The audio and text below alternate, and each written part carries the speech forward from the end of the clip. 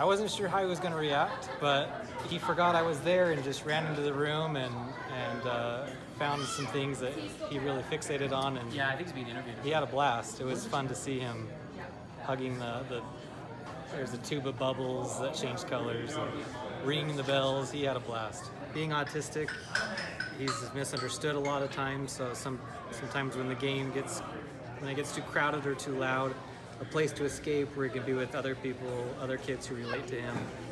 Um, it's really exciting to see the Jazz recognize and, and support support his needs.